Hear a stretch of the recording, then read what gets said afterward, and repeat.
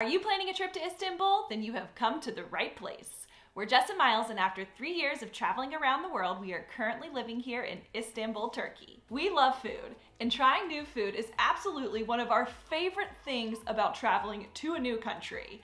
Today we're going to show you just how affordable the food really is here in Istanbul. It's actually amazing the value and quality you get traveling here in Istanbul. We recently made a video and told you about 10 must-try foods while you're here, but today we're actually gonna get out and show you. We have $20 here for the both of us, and we're gonna see just how many different things we can eat today. Our goal is 10 different things. Let's see if we can make it happen. First things first, 20 US dollars is 372 Turkish lira, so that is all we're gonna bring with us today. Real quick, if you're starting to plan your trip to Istanbul, you probably already know the city can be overwhelming. There's so much to do, so much information out there, and with a short amount of time here, there are so many opportunities to get it wrong. Let us help you.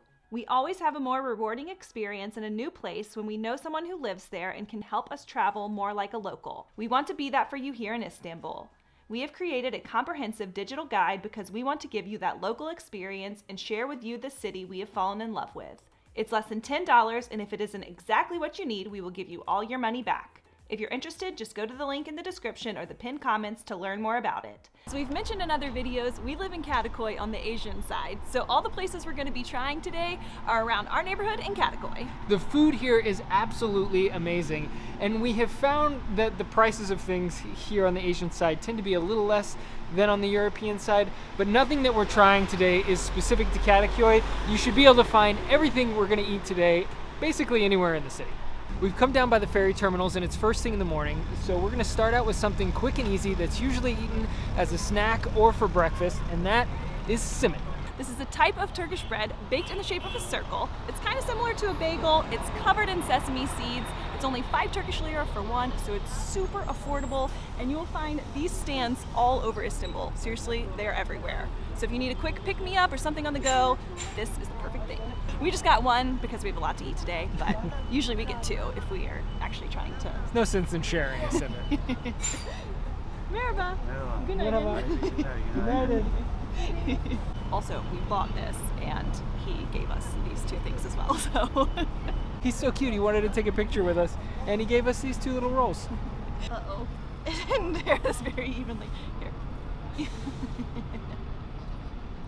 Don't walk around Istanbul hangry. Just stop at a simit stand.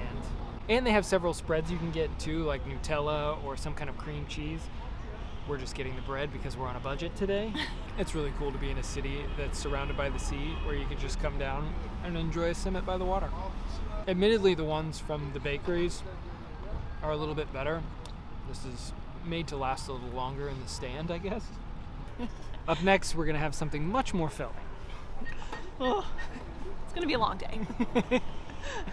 I think we have three breakfasts planned today. Next up, we have Börek. This is honestly a pretty bold choice for our second stop because usually when we eat Börek, we are not hungry for hours afterwards. It is absolutely delicious, but very heavy and very filling. This is one portion. so you can get various different ingredients inside. We went with potato, but you can also do meat, spinach, or just cheese. It's all delicious. It has really crispy, thin layers of phyllo dough. So good. This is heavy. Last bite. The problem with these food videos is that Jess has self-control and she stops eating. But then I look at the rest of the plate and feel like it's my responsibility to finish it. I don't know if it's because I have two brothers or what, but no Börek left behind. Good work. There's nothing left. So our next food stop is another savory pastry. So we're gonna break it up in between and get some Turkish coffee. Merhaba. That's our olive guy. Bonus tip. Those apricots are the good sun-dried apricots. These, not sun-dried. They look pretty, but don't be fooled. Tell me all about Turkish coffee since you have been making it at home for us recently. Oh, I've been trying. It's been one of those things that I'm trying to learn while we're here. I haven't quite gotten it right. Turkish coffee is made using a special brewing technique where they take very finely ground coffee and place it into a special brewer called a jezve, where it's brought nearly to a boil when you can see that nice foam start to develop on top, and then it is poured, grounds and all, into one of these adorable little cups, and you want to make sure that you stop drinking it before you get to the bottom, or you'll end up eating your coffee. Yeah, I haven't quite been able to get it to taste this good. I guess you could say it has a bit of a bitter taste. Honestly, we're pretty used to it at this point because we drink it all the time.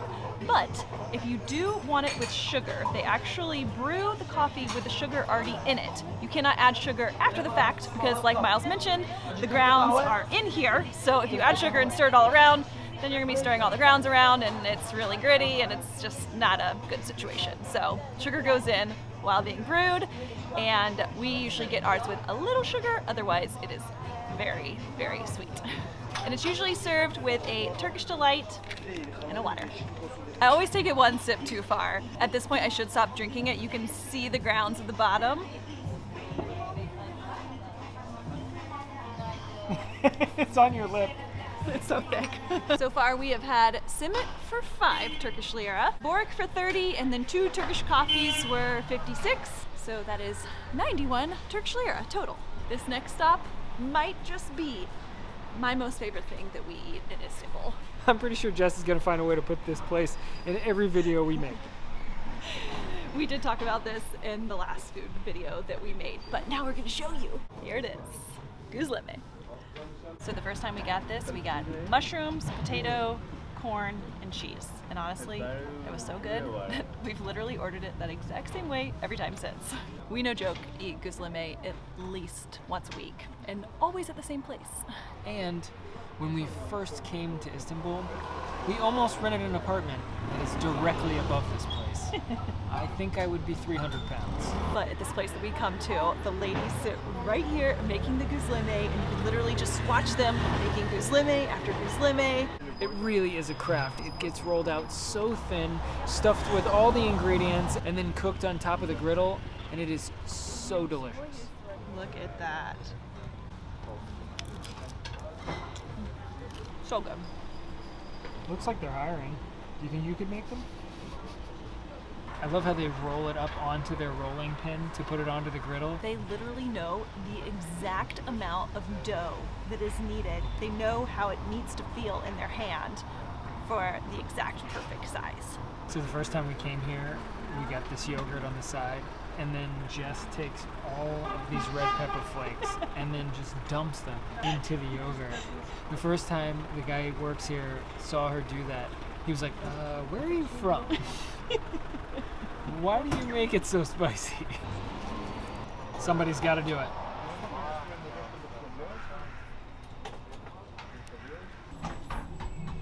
Next on the list is stuffed mussels. This is a really popular street food that you can find all over the city. The mussels are steamed and then stuffed with rice and put back in the shell so you can use the top of the shell as a spoon. Are they good? We're getting two regular and two spicy. That was just a regular classic one. I'm looking forward to the spicy ones. Spicy. Ooh, this is spicy. So you'll find guys selling these all around the streets just with, you know, some trays. But we tend to stick to uh, more of a restaurant type location. we just feel a bit better about that. That's a big one. Every day we go for a walk along the waterfront here in Kadıköy. And yesterday we saw guys pulling whole bags of mussels right out of the sea, which on one hand you'd think, oh wow, those must be really fresh mussels. And on the other hand, when you do that walk every day and you know that the sanitation plant is just 100 meters down the way, makes you second guess whether or not you should eat mussels on the side of the street.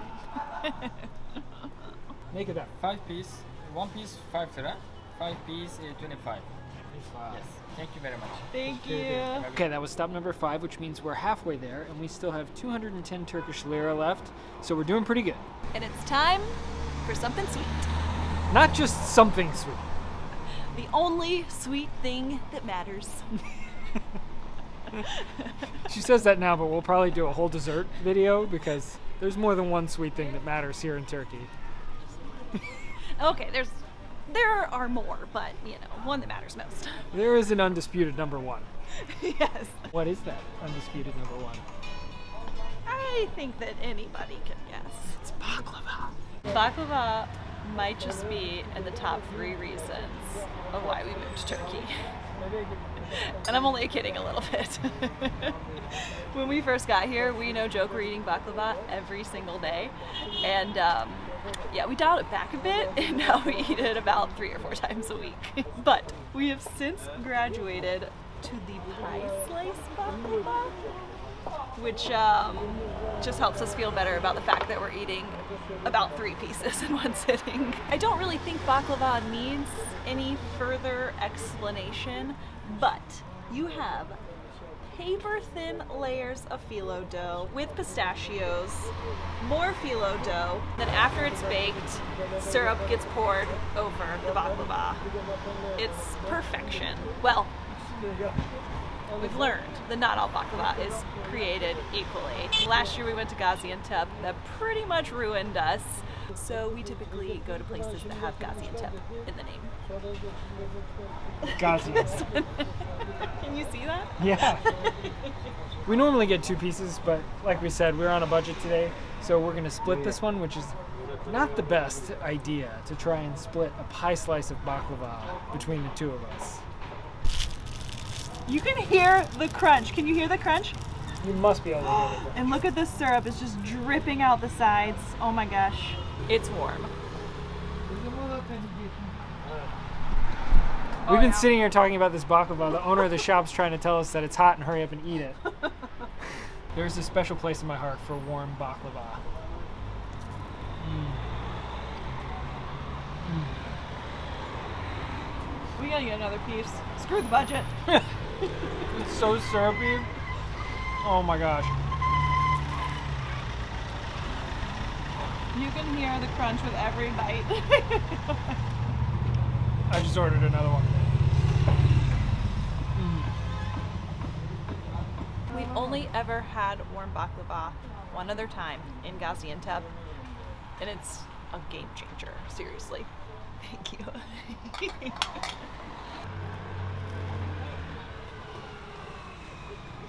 I think you can hear the crunch of that over the traffic. It was amazing. Oh my god. So good. You can see the individual layers in there. It's so syrupy. How do we find out when he has warm baklava? I know. It's 138 right now, so I guess every single day we'll go at 138. We'll come by. This is only like two blocks from our place. Dangerous. Well, we just blew the budget a bit on baklava. I think that was 60 Turkish lira for the two pieces. But, like we said, the pie slice ones are probably the equivalent of at least two and a half pieces of the normal square shaped ones. So, it's a lot of baklava. it was worth it though. what's next on the list. oh, okay. I think we're gonna take another break from food. We're gonna get some chai. Yeah, I gotta Let that settle then. yeah, gotta wash down all that sugar. Well, the funny thing is, oh, actually, I was going to talk to you about this when we have chai. He would have just given us chai for free, but we wanted to make it a dedicated stop. So you hear a lot about Turkish coffee, but chai is by far the most popular drink here in Turkey. We've actually already been offered it twice today, and depending on where you go, particularly at the more local restaurants, they'll often just bring it to you for free at the end of your meal. Even if not, it's usually around 10 Turkish lira, so it's super affordable. and, Oh, and it comes in these adorable little tulip-shaped glasses. Last year, when we were on our road trip out in the highlands where they grow a lot of the tea, there's a town called Rize that has a huge building that's in the shape of these tulip shaped glasses. Stop number eight. So this is actually another place that we come to multiple times a week. We usually get pide here, but what we're showing you today is lahmacun. Lahmacun is quick, delicious, and super cheap. so lahmacun is a crispy flatbread with minced meat, and it's served with lettuce, tomato, onion, and then roll it up.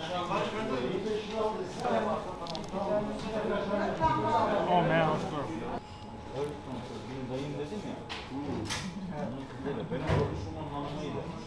mm, good. Full? Hmm? Are you getting full? Oh yeah, I'm so full.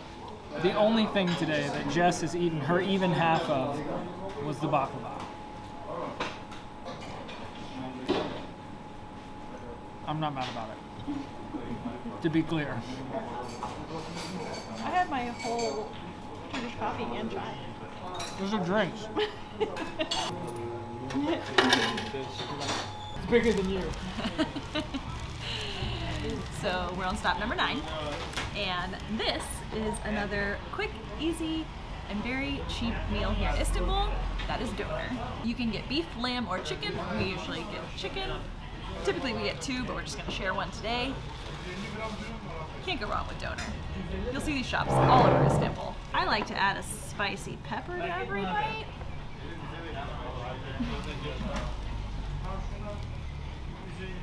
Sometimes we get these to go, but always just reminds me to make sure I get about this size to go container of peppers to make sure she has at least one for every bite. It may seem like an obvious one, but I can almost guarantee you will eat doner while you're here in Istanbul.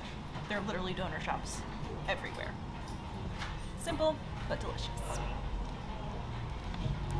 Pretty hard to beat. Thinly sliced meat, french fries, pickles and peppers. We should mention that you can get different sizes of these 100 grams, 150 grams, 200 grams. We order the 100 gram doner, and it's more than enough. I'm just looking at myself. See if I have any sauce on my face. So we just did some math, and we still have 86 Turkish lira left. Our goal today was 10 stops. That was just stop number nine, so we're doing great on the budget. We're doing great on the budget, but not so great with room left in my stomach. But we're powering through. To be honest, I knew it was going to be pretty tough to spend $20 going around eating today, but I didn't appreciate how hard it was going to be to actually eat all of this food in one day. To be clear, there are plenty of more expensive meals you can have here in Istanbul, but when you're intentional about it, you can eat very, very affordably here. I'm not going to be hungry again until the middle of the week. Looks like Hey Arnold's head.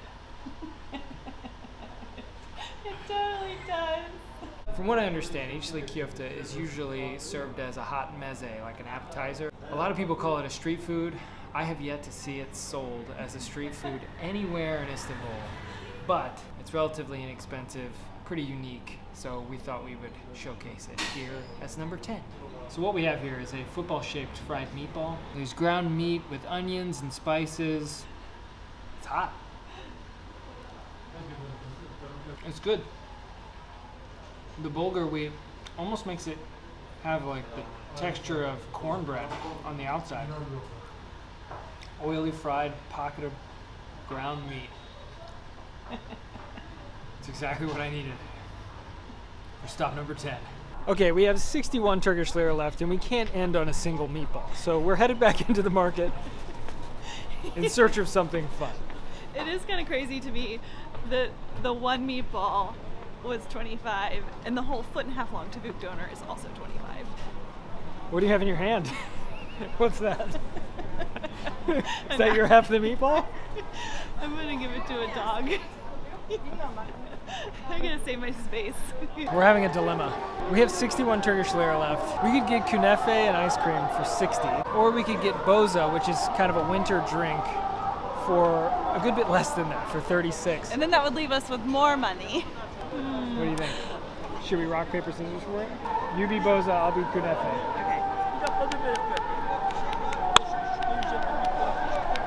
Oh, I win! You won? What was I? Kunefe. I don't want kunefe. It's too much. Boza I it I, well, you won. I know, but we've never had boza. We get kunefe all the time. But then what are we gonna get with the rest of the money?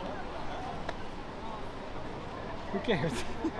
Okay, we don't know a lot about this drink, but it says it's a fermented wheat refreshment. It's served with cinnamon and roasted chickpeas on top.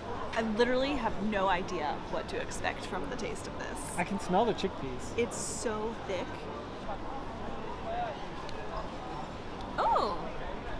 Hmm. I don't know what to compare it to. Uh oh. I kind of like that.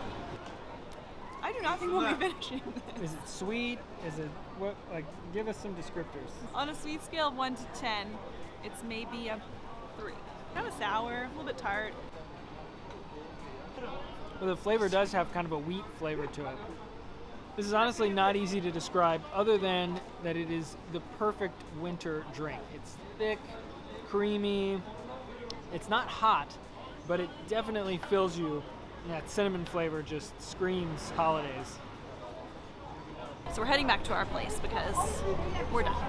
But the sign said that it helped with digestion, which is pretty much the perfect way to end our day here. So we're going back to our place. We do have 25 Turkish lira left, but we're gonna save that for later if we happen to get hungry. We're not going to get hungry. That was a full day of eating for 19, less than $19. Yep, just under $19. I'd call that a success. Me too. All right. Five Turkish lira to spare. Blah blah blah blah blah blah blah. Helps digestion.